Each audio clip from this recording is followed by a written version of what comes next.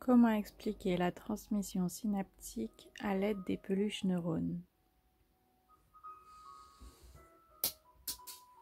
Voici un grand neurone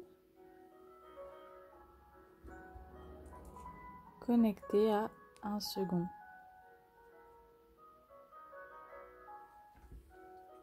On distingue le soma au corps cellulaire qui contient le noyau et les informations génétiques, les dendrites qui viennent du grec dendre qui signifie arbre.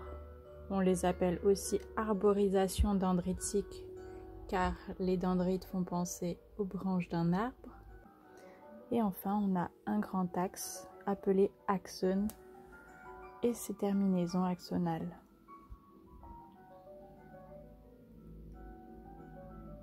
Un neurone se connecte à un autre neurone par ce qu'on appelle les synapses. Une synapse est une connexion entre deux neurones. À savoir qu'il y a 100 milliards de neurones dans notre cerveau et chacun peut se connecter entre 1000 et 10 000 fois avec les autres neurones. D'une papillon, qu'on appelle le cône d'émergence, va partir un message de nature électrique.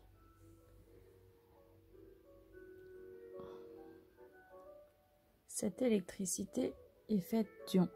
Nous avons des ions potassium K+, qui sont à l'intérieur de la membrane du neurone.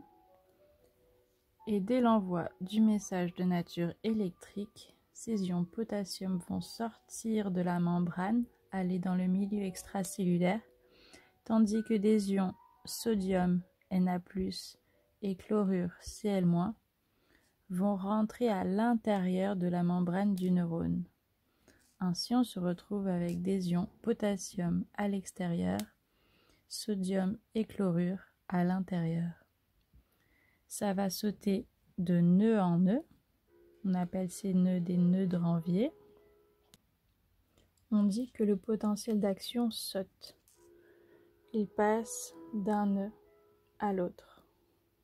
Et quand il arrive au bout, il va déclencher l'ouverture des canaux calciques, ceux-ci, représentés par ces petites perles violettes,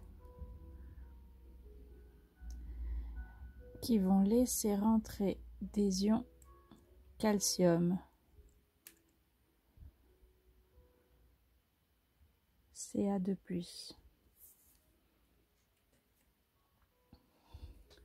L'entrée des ions calcium va faire fusionner la membrane qui contient les neurotransmetteurs, les membranes de la vésicule qui contient les neurotransmetteurs avec la membrane du neurone qui fait que celle-ci va pouvoir relarguer des neurotransmetteurs ici représentés par les petits pompons de couleur verte.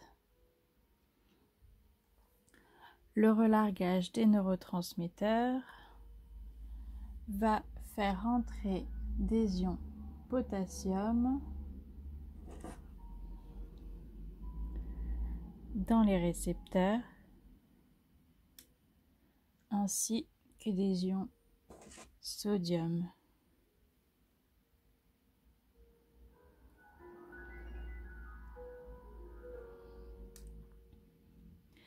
Une fois que le neurone d'après a reçu les ions dans ses récepteurs, à son tour, il va transmettre le message de nature électrique avec les échanges d'ions entre l'intérieur et l'extérieur de la membrane de la cellule.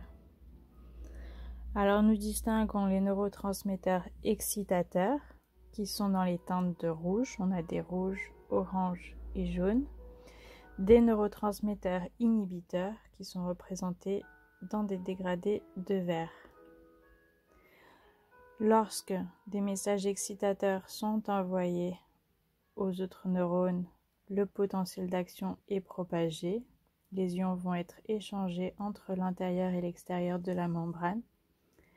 Et lorsque ceux-ci sont activés et en train de fonctionner, avec les échanges d'ions qui se font en permanence, il suffit qu'un neurotransmetteur, alors déjà il faut les ions calciques, qui rentre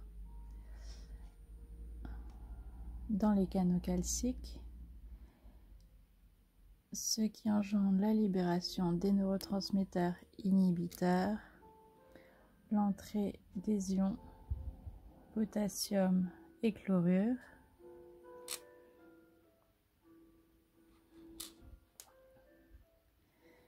et là, les neurones arrêtent de transmettre les messages de nature électrique.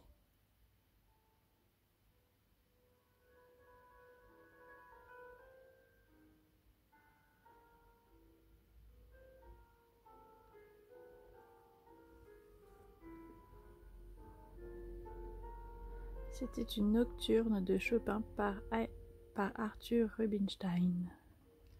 Merci pour votre attention et n'hésitez pas à nous faire des critiques.